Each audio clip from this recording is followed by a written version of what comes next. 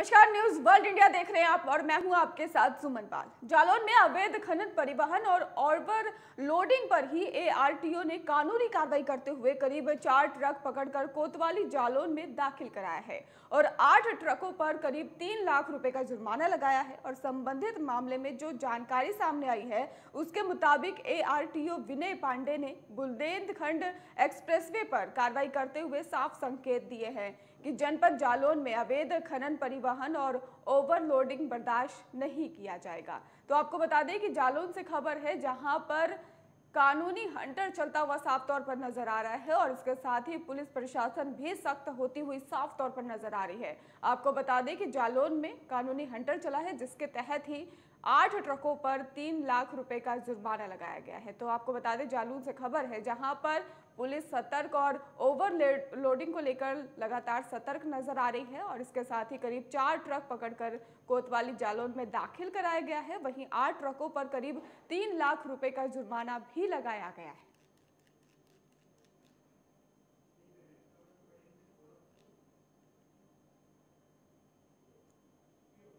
UP के गोरखपुर में शादी समारोह के दौरान एक मैरिज हॉल में जेवर से भरे बैग पर दो महिलाओं ने हाथ साफ़ कर दिया और घटना मंगलवार रात की है, लेकिन ये घटना सीसीटीवी में कैद हो गई और चार पहिया गाड़ी से आई इन महिलाएँ। जो महिला चोरों के बारे में जब पुलिस ने सुराग तलाश रही थी, तब वही चार पहिया गाड़ी के नंबर को भी ट्रेस करने का प्रयास किया जा रहा था। और सरेआम हुई इस वारदात में लोग हैरान हैं और बताया जा रहा है कि चोरी की वारदात को अंजाम देने वाली महिलाओं ने जिस बैग पर हाथ साफ़ किया है, उसमें 10 लाख रुपए के जेवर रखे हैं। गोरखपुर के कोतवाली थाना क्षेत्र के ही धम्बाल मोहल्ले के रहने वाले अब्दुल वहाब खान के छोटे बेटे नुमान खान की मंगलवार को शादी रही है और नुमान की बारात उनके घर से निकलकर कोतवाली थाना क्षेत्र के सुमेर सागर के शिप्रा लोन पहुँची थी और बारात पहुँचते ही परिवार के सभी लोग निकाह की रस्मों में व्यस्त हो गए और इस दौरान दुल्हन को देने के लिए लड़के वाले ने ज्वेलरी निकाली थी और घर की महिलाएँ ने ज्वेलरी से भरा बैग मैरिज हॉल में एक कमरे में अन्य सामानों के साथ रख दिया और वही मेहमानों की खातिरदारी में लग गई और इस बीच बीच रात करीब ग्यारह बजकर तैंतीस मिनट पर दो महिलाएँ हॉल में घुसी और जेवरात से भरा बैग लेकर फरार हो गई। ये महिलाएँ रात ग्यारह बजे के करीब मैरिज हॉल में दाखिल होते हुए सीसीटीवी में कैद भी हो गई है कि महिलाएँ तीन से चार की संख्या में रही हैं और उनके गैंग में दो पुरुष भी शामिल दिखाई दे रहे हैं। आपको बता दें कि सीसीटीवी में महिलाओं के आने पर और जाने पर फुटेज जो थी वो कैद हो चुकी है। यह गैंग बाकायदा कार से आया था और चोरों के वापस जाते वक्त मैरिज हाउस से एक कार भी बाहर निकली है, जिसमें सभी बैठकर फरार हो गए। फ़िलहाल पुलिस चोरी करने वाले गैंग की तलाश कर रही है और आपको बता दें कि गोरखपुर के ही एसपी सिटी कृष्ण कुमार विश्नोई ने बताया है कि कोतवाली थाना क्षेत्र के शिल्पा लोन में मंगलवार को रात को ही शादी समारोह में आयोजन हो रहा था और पुलिस को सूचना मिली थी कि शादी समारोह में दो महिलाएँ जेवर लेकर जो बैग था वो फरार हो गई है। उन्होंने बताया कि महिलाओं ने जेवर से भरे बैग पर हाथ साफ़ कर दिया है और इसके साथ ही बताया गया कि तहरीर के मुताबिक उसमें तीन सेट हार और तीन सेट चूड़ी, सोने की अंगूठी और बूंदे आदि शामिल है। और उन्होंने ये भी जानकारी दी है कि पुलिस की चोरी चोरी के होने की सूचना जब मिली थी तो उसके बाद पुलिस मौके पर पहुँची थी और पुलिस को सीसीटीवी के कई एंगल से महिलाओं की तलाश में अब जुट गई है और जल्द ही इस घटना का पुलिस खुलासा भी करेगी। जनपद गोरखपुर के थाना कोतवाली क्षेत्र में एक शिप्रा लॉन नाम की जगह है जहाँ पे एक शादी चल रही थी। पुलिस को सूचना मिली कि उस शादी में आ, दो महिलाएँ हैं। वो एक बैग को लेके गायब हो गई हैं। बाद में प्राप्त तहरीर के अनुसार ये पता चला है कि 11 बजे के पे प्रार्थी उसके रिश्तेदार शादी में पार्टिसिपेट कर रहे थे। जिस बैग था वो महिला अपना बैग छोड़ के वहाँ से गई है।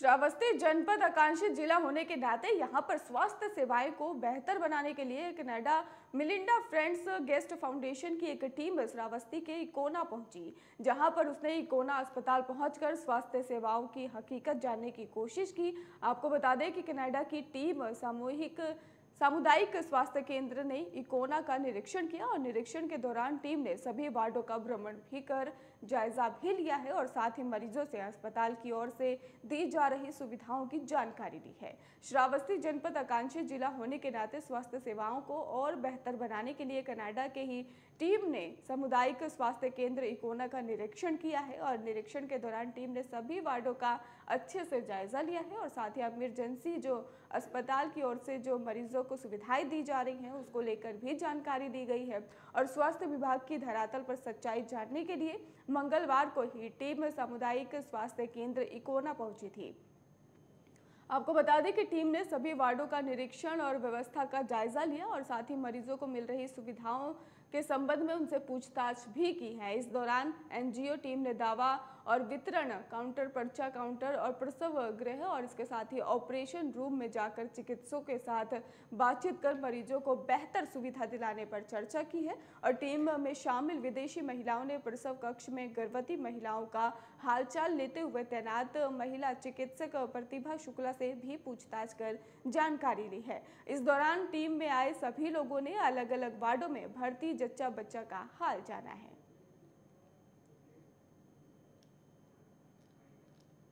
You are visiting here in India and you are standing here among us. Uh, are you satisfied with the medical facility here in India?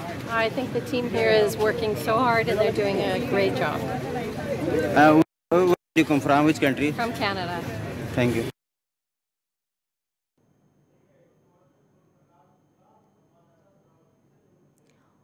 खबर पर हमारे साथ श्रावस्ती से सूर्य प्रकाश शुक्ला जुड़ चुके हैं। सूर्य प्रकाश जिस तरह से खबर सामने आई है कि टीम ने पहल की है और जायजा लिया है क्या क्या जायजे में सामने आया?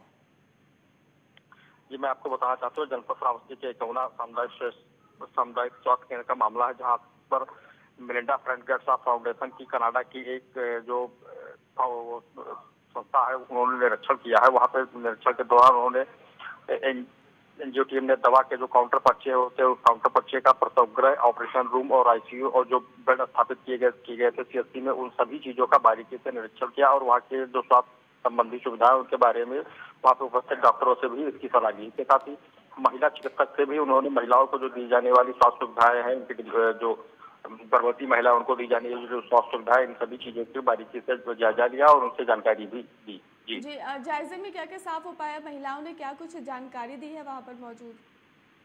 नहीं जो बात की गई एनजीओ के हट से तो उन्होंने बताया कि नहीं अभी जो दवा उपचार किया जा रहा है उसके वो तो एक लिहाज से ठीक है और अच्छे तरीके से किया जा रहा है लेकिन इसमें और भी ज़्यादा कोई व्यवस्था दी जाए तो जिससे लोगों को स्वास्थ्य से संबंधित जो भी असुविधाएँ उपलब्ध हो रही है उनसे भी उनका भी निराकरण किया जाए और बेहतर स्वास्थ्य सुविधा उपलब्ध कराया जाए। जी। जी, ये टीम कितने समय तक वहाँ पर मौजूद रही है और कितनी देर तक इस पूरा निरीक्षण किया गया है सूर्य प्रकाश बताया जा रहा है कि टीम लगभग दो से तीन घंटे तक अस्पताल में भ्रमणशील थी और सभी सीएससी पर, सभी केंद्रों का, सभी जगहों का उन्होंने जायजा लिया। वहाँ के मतलब भवन का भी निरीक्षण किया किस तरीके से भवन बना हुआ है, किस तरीके से लोगों, जो लोग मरीज़ आ रहे हैं, जो पेशेंट आ रहे हैं उनका इलाज किस तरीके से किया जा रहा है और लोगों को जो स्वास्थ्य सुविधाएँ होनी चाहिए बेहतर होनी चाहिए जो सी पर मिल, मिल सके जिनको बाहर कहीं इलाज न कराने जाना पड़े। इसके लिए भी उन्होंने तमाम सारी चीज़ों का बारीकी से निरीक्षण किया उसको जो व्यवस्थित है उनको व्यवस्था पे सुचारू रूप से करने के लिए उन्होंने लिखा पढ़ी भी की और सारी चीज़ों का उन्होंने बारीकी से निरीक्षण किया जी सूर्य प्रकाश क्या एक ही अस्पताल में जायजा लिया गया है कि और अन्य अस्पतालों में भी ये टीम गई है?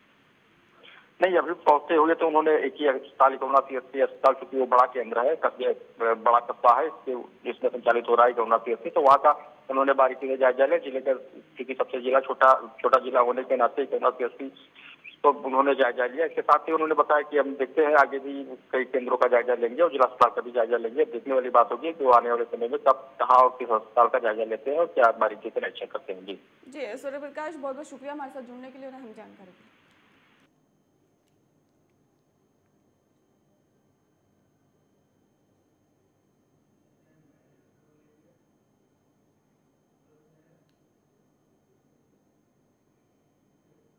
बुलंदशहर के डीएम चंद्र प्रकाश सिंह ने औचक रूप से ही पूर्व माध्यमिक विश्वविद्यालय के ही धमीड़ा कीरत का निरीक्षण करते हुए अध्यापकों के समय में विद्यार्थियों के लिए ही विद्यालय में आने बच्चों की दी जा रही शिक्षा, मिड डे मील और भोजन की गुणवत्ता कार्यालय के सभी 19 पैरामीटर पर कराए गए कार्यों को और इसके साथ ही साफ़ सफ़ाई आदि व्यवस्थाओं का उन्होंने जायजा लिया है। विद्यालय में प्रधानाचार्य की अगर बात करें तो प्रधानाचार्य सहित तीनों अध्यापक उपस्थित मिले हैं और विद्यालय में नामांकित 114 बच्चों के अपेक्षा 80 बच्चे उपस्थित रहे। अध्यापकों को निर्देशित किया गया कि बच्चों को जिस भी विषय के बारे में शिक्षा दी जा रही है, उसके बारे में उन्हें विस्तार से जानकारी देकर समझाया जाए, जिससे बच्चों को पढ़ने में कोई परेशानी ना हो और इसके साथ ही इतिहास और संस्कृत विषय के बारे में चंद्रशेखर आज़ाद जैसे महापुरुषों के जीवन परिचय के बारे में बच्चों को जानकारी देकर पृष्ठभूमि बनाकर बच्चों को पढ़ाया जाए। बच्चों के दिए गए मध्यान्ह भोजन के बारे में बच्चों से जानकारी करने और इसके साथ ही बताया गया कि भोजन में दाल चावल दिया जाता है और रसोई का निरीक्षण करते हुए बनाए गए भोजन की गुणवत्ता को भी परखा गया है। नहीं मतलब हमारे यहाँ प्राइमरी स्कूलों में अपर प्राइमरी स्कूलों में काफ़ी इनोवेशंस हो रहे हैं और अध्यापक लोग काफ़ी मेहनत कर रहे हैं। उसी का स्थलीय निरीक्षण करने के लिए मैंने upper primary school Kiratpur Dhameda का निरीक्षण किया और यहाँ ये जान करके बड़ा अच्छा लग रहा है कि जो बच्चों को सिखाया जा रहा है, बच्चे न केवल व्यवहारिक ज्ञान अर्जित कर रहे हैं थ्योरेटिकल ज्ञान अर्जित कर रहे हैं, बल्कि उनको सब्जेक्ट की जानकारी भी है। मैंने अभी अध्यापकों से अनुरोध भी किया, जैसे संस्कृत की पढ़ाई हो रही थी, उसमें चंद्रशेखर आज़ाद जी के बारे में पढ़ाया जा रहा था। मैंने उनको बताया कि पहले उनके जीवन परिचय के बारे में सभी छात्रों को बताएँ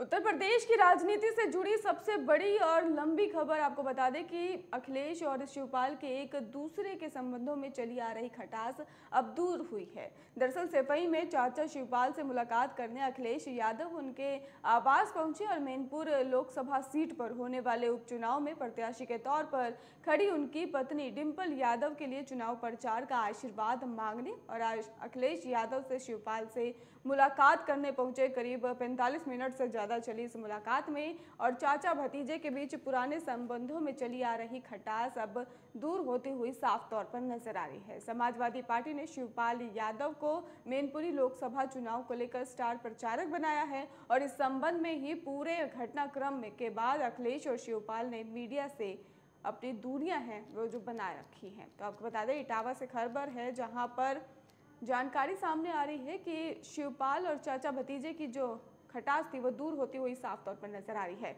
उत्तर प्रदेश की राजनीति से जुड़ी सबसे बड़ी और अहम खबर आपको बता रहे हैं, जहाँ पर अखिलेश और शिवपाल के एक दूसरे के संबंधों में चली आ रही खटास अब दूर होती हुई नज़र आ रही है। सिफई में चाचा शिवपाल से मुलाकात करने अखिलेश यादव उनके आवास पहुँचे थे और मेनपुरी लोकसभा सीट पर होने वाले उपचुनाव में प्रत्याशी के तौर पर ही उनकी पत्नी डिम्पल यादव के लिए उपचुनाव प्रचार का आशीर्वाद मांगने अखिलेश यादव शिवपाल से मुलाकात करने पहुँचे हुए थे और करीब 45 मिनट से ज़्यादा चली इस मुलाकात में चाचा भतीजे के बीच जो पुराने संबंधों में चली आ रही खटास थी वो दूर होती हुई नज़र आ रही है।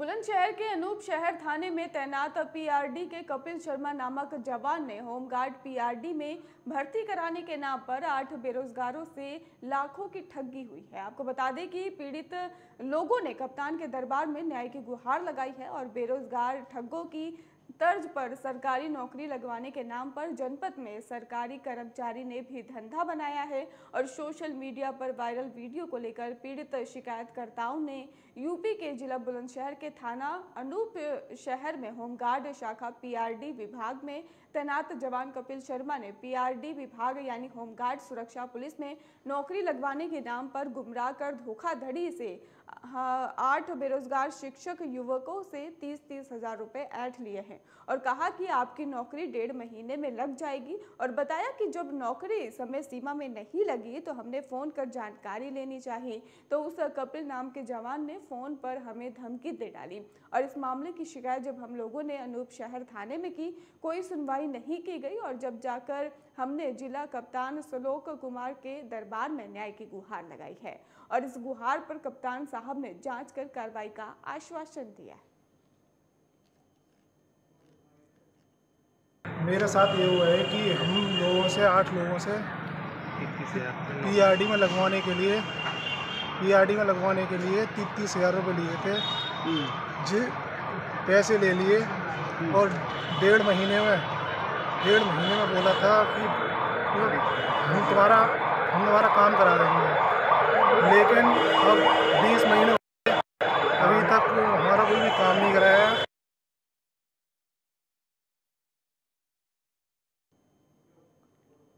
तो आपको बता दें कि कपिल शर्मा ने पीआरडी विभाग यानी होमगार्ड सुरक्षा पुलिस में ही नौकरी लगवाने के नाम पर गुमराह कर धोखाधड़ी किया है और आठ बेरोजगारों, शिक्षकों, युवकों से ही तीस तीस हज़ार रुपए की ऐठ जो है वो की है और इसके साथ ही उसने धमकी भी दी है कि नौकरी डेढ़ महीने में लग जाएगी। अगर ऐसा नहीं हुआ, ऐसा जिसके बाद पीड़ित लोगों ने ही अब इसकी शिकायत करी तो उसके बाद धमकी भी दी गई है। उन्होंने बताया कि हमने फ़ोन पर जानकारी लेनी चाहिए तो उस कपिल नाम के जवान ने फ़ोन पर हमें धमकी दे डाली और इस मामले की शिकायत जब हम लोगों ने अनूप शहर थाने में की तो उसके बाद कोई सुनवाई नहीं की गई और तब जाकर हमने जिला कप्तान श्लोक कुमार के दरबार में न्याय की गुहार लगाई है। इस गुहार पर कप्तान साहब ने जाँच कर कार्रवाई करने का आश्वासन भी दे दिया है।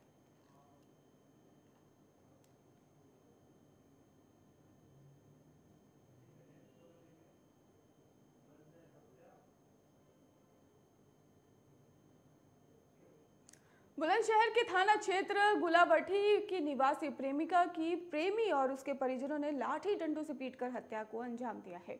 मृतका के भाई ने आरोपियों के खिलाफ थाने में तहरीर देकर नामजद कराया और घटना स्थल पर एसपी सिटी सुरेंद्र नाथ तिवारी सहित फोरेंसिक टीम मौके पर पहुँची और पुलिस ने शव को बरामद कर पोस्टमार्टम के लिए भेज दिया है। मृतका के भाई ने बताया है कि 15 नवंबर 2022 को मेरी बहन घर पर अकेली थी, जिसके बाद आरोपियों ने क्रूर घटना को अंजाम दिया और शादी का झांसा देकर प्रेमी ने प्रेमिका से शारीरिक संबंध भी बनाए थे। और एसपी सिटी सुरेंद्र नाथ तिवारी ने बताया कि पीड़िता ने नवंबर 2021 में अपने साथ हुए दुष्कर्म को लेकर आरोपी प्रेमी के खिलाफ जान का खतरा बताते हुए एफआईआर कराई थी। फ़िलहाल प्रेमी आरोपी सहित आधा दर्जन के खिलाफ मामला दर्ज है।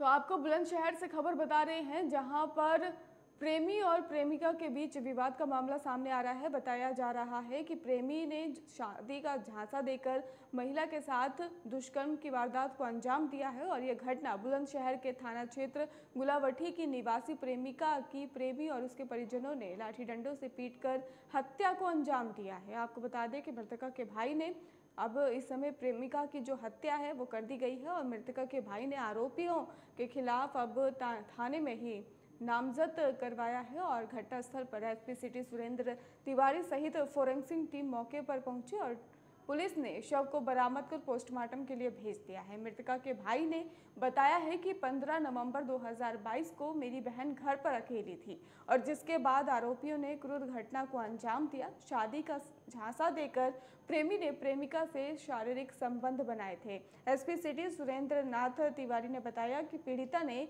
नवंबर 2021 में अपने साथ हुए दुष्कर्म को लेकर आरोपी प्रेमी के खिलाफ जान का खतरा बताते हुए एफआईआर भी दर्ज करवाई थी। फ़िलहाल प्रेमी आरोपियों सहित आधा दर्जन लोगों के खिलाफ मामला दर्ज कर लिया गया है और पुलिस मामले की जाँच में अब जुट गई है। गुलावटी में एक लड़की की मृत्यु की सूचना आई है और वहाँ पर यूनिट और हमारे थाने की टीम सारे लोग पहुँचे थे। वहाँ पर छानबीन की गई तो पता चला कि लड़की द्वारा नवंबर 21 में एक मुकदमा लड़के के खिलाफ कायम कराया गया था। तीन सौ छिहत्तर का, जिसमें लड़का जेल गया था और उसके खिलाफ आरोप पत्र लगा था। लड़, लड़का जेल से जब बाहर आया है पाँचवें महीने में, बीस सौ बाईस में तो लड़की ने पुनः एक प्रार्थना प्रार्थना पत्र भी पाँच सौ का मुकदमा कायम किया गया था।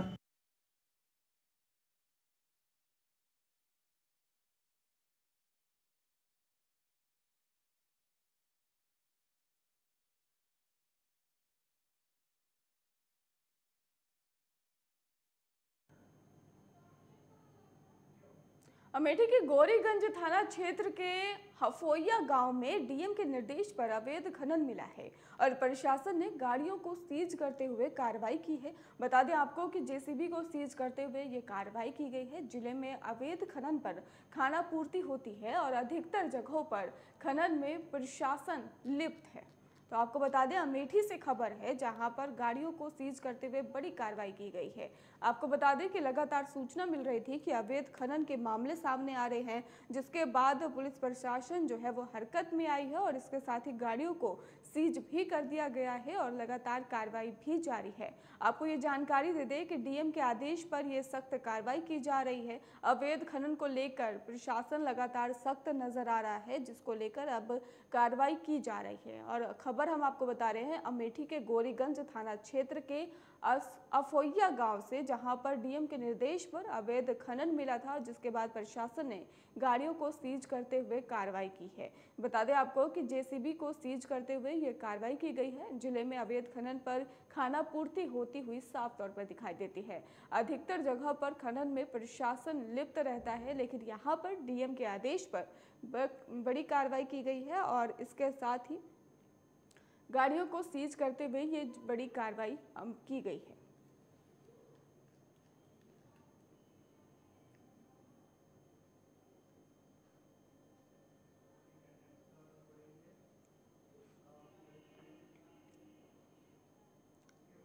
श्रावस्ती के नेशनल हाईवे 730 पर ट्रैक्टर अनियंत्रित हो गया। और बताया जा रहा है कि हाईवे किनारे मौजूद होटल में घुसते हुए ट्रैक्टर जो है वो अनियंत्रित हुआ था और खड़ी हुई दो बाइक और साइकिल को इसने ट्रैक्टर ने ही रोन दिया है। वहीं ट्रैक्टर की चपेट में आकर दो महिलाएँ भी चोटिल हुई हैं और लेकिन कोई बड़ी घटना होने से बाल बाल बच गई है और आनंद फानन में स्थानीय लोगों ने महिलाओं को अस्पताल भेजा, सूचना पर पहुँची पुलिस ने ट्रैक्टर को कब्जे में लेकर अब कार्रवाई शुरू कर दी है।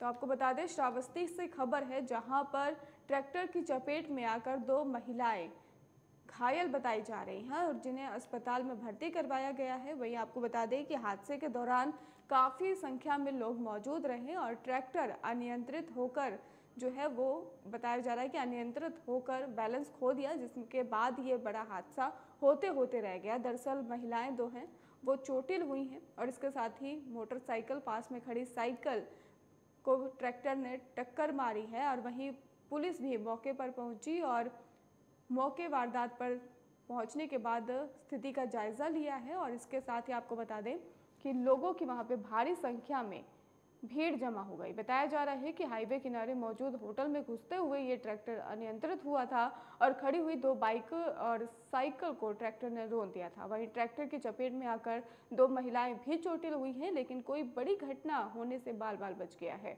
और आनंद फान में स्थानीय लोगों ने महिलाओं को अस्पताल भेजा और जिसके बाद पुलिस ने ट्रैक्टर को कब्जे में ले लिया है और आगे की कार्रवाई शुरू कर दी है।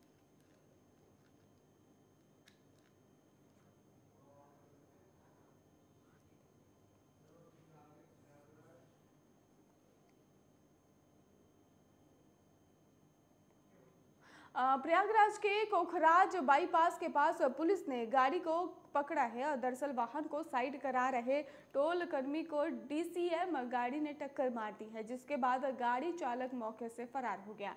वहीं आपको बता दें कि हादसे में युवक की मौत हो गई है। दरअसल बताया जा रहा है कि अस्पताल ले जाते समय युवक की मौत हुई है और टोल कर्मी वीरेंद्र सिंह मूल रूप से फिरोजाबाद का रहने वाला था। सीसीटीवी फुटेज से पहचान कर आगे की जाँच की जा रही है। तो आपको बता दें, प्रयागराज से खबर है, जहाँ पर टोल कर्मी की एक्सीडेंट हुआ है, जिसके बाद आपको बता दें कि प्रयागराज के कोखराज बाईपास के पास पुलिस ने गाड़ी को पकड़ा है। दरअसल वाहन को साइड करा रहे टोल कर्मी को डीसीएम गाड़ी ने टक्कर मार दी है, जिसके बाद गाड़ी चालक मौके से फरार हो गया।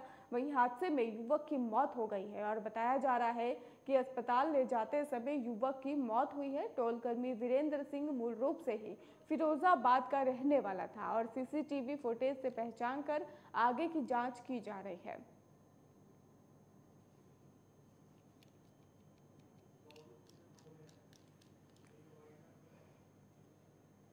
तो आपको बता दें, प्रयागराज से खबर है जहाँ पर टोल कर्मी की एक्सीडेंट से मौत हुई की खबर सामने आ रही है और बताया जा रहा है कि गाड़ी ने जो है वो टक्कर मारी थी और जिसके बाद एक्सीडेंट में ही टोल कर्मी की मौत हो गई है और बड़ी लापरवाही सामने आई है, जहाँ पर आपको बता दें कि हादसे में जो डीसीएम डीसीएम की गाड़ी ने ही टक्कर मारी है। तो बड़ी जानकारी आपको बता रहे हैं, जहाँ पर प्रयागराज से डीसीएम की गाड़ी ने टोलकर्मी को टक्कर मारी है और हादसे में अस्पताल ले जाते हुए पीड़ित की मौत हो गई है। वहीं पीड़ित के परिजनों का रो रो कर बुरा हाल है और लगातार न्याय की गुहार लगाई जा रही है। पुलिसकर्मी जो है वहाँ मौके पर पहुँचे और इसके साथ ही बताया जा रहा है कि जिसके बाद से ही गाड़ी चालक मौके से फरार हो गया और हादसे में युवक की मौत हो गई है और ये भी जानकारी सामने आ रही है कि अस्पताल ले जाते समय युवक की मौत हुई है। टोलकर्मी वीरेंद्र सिंह मूल रूप से ही फिरोजाबाद का रहने वाला बताया जा रहा है और सीसीटीवी फुटेज में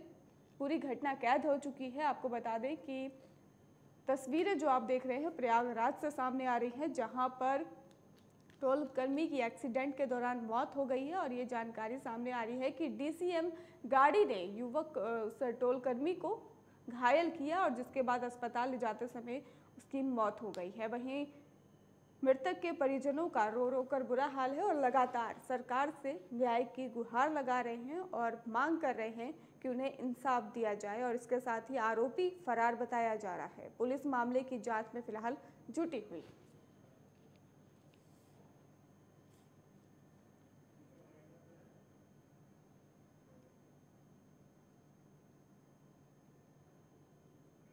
फ़िलहाल इस बुलेटिन में इतना ही। खबरों का सिलसिला लगातार जारी है। आप देखते रहिए न्यूज़ वर्ल्ड इंडिया।